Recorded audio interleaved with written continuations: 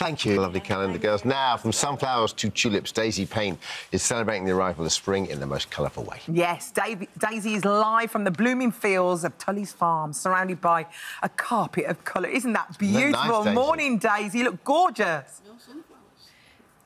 Good morning. You might think I'm in Holland. I'm not. I'm in West Sussex, would you believe? There's something strange in the sky as well. I've not seen it for a while. It's the sun, people. It's coming out. It's here all weekend. Yes. Uh, but I'm here surrounded by thousands of tulips. Doesn't it look amazing? The man behind it all is here. It's Stuart Beer. You own the farm here at Tulleys. Tell me about these tulips. Well, they are just spectacular, aren't they? They're amazing. We planted them back in November, and that was a huge challenge to try and get them in the ground. The, the, we've had one of the wettest winters on record, which is exactly what our Dutch friends that helped us put this together told us that they didn't need. So uh, it has been real challenging. So there have been some trials and tribulations, Lots. Stuart. Tell me about how you've approached this. well, we started planning it about a year ago. Yeah. Um, they went in in November, as I said, but what we didn't realise was that they soon became the biggest buffet for the wildlife. Even though they're under the ground, everything wanted to try and eat them. The main thing was badgers, so we had to put stockade fences and electric fences just to try and keep these uh, lovely creatures out. Well, you've done an amazing job Thank you. because it is looking stunning. How many tulips have you got here planted this year? We've planted just over half a million. There's half a million on the field, and then we've got some planted in pots as well. The big question is I mean, there's so many people enjoying today and the sunshine and the tulips.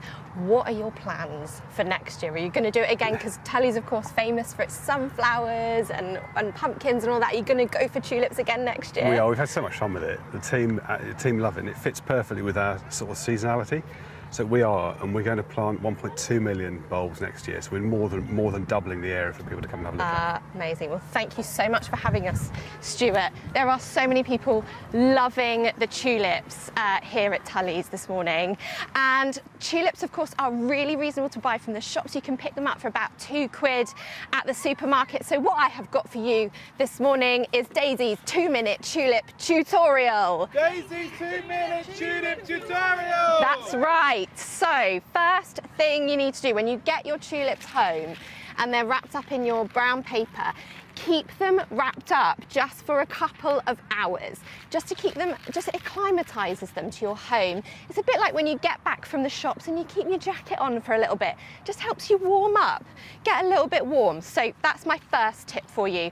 My next tip for you is you got your tulips, get rid of all these little leaves around the stem and just remove them quite gently. Then you want to chop your stems at what angle?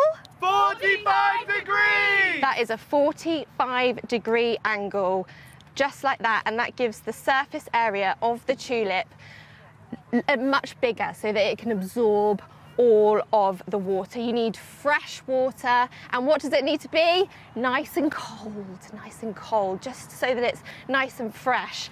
Okay, if your tulips start to droop in any way, grab yourself a needle and just place a hole through the stem like that. What that does is it helps get rid of air bubbles as they find their way up the stem. Uh, it's a bit like when you do this. It just helps release the air for the tulips. Now, the old wives' tale, what do you drop in the vase? Copper coin. Absolutely, you drop that copper coin in, and that is that has got antibacterial properties, so it's really good to keep the tulips fresh. Okay, another top tip for you is whack some sugar in because that will feed the plant with the juice of what fruit? Lemon juice. Lemon juice, that's right, that's got antibacterial properties as well. And finally, what's good for a tulip on a Friday morning and even better for a daisy on a Saturday night on the town? Vodka. Vodka, people, vodka. Pop it in. It's a little bit like a, uh, an anti-aging cream for tulips. It keeps the ethylene at bay, and therefore your tulips will look, be looking stunning for longer. The sun is on my face, people. There's your two-minute tulip tutorial this morning from Tulleys. This is so wonderful, good. Daisy. We've got our Daisy. tulips here, we've got our cigars. What angle do we cut this, guys? 45 degrees. 45 degrees. Let's give that a little cut. Thank you so much, Daisy. That was so good. That was so good. Uh, anyway, listen, when we come back, why is gut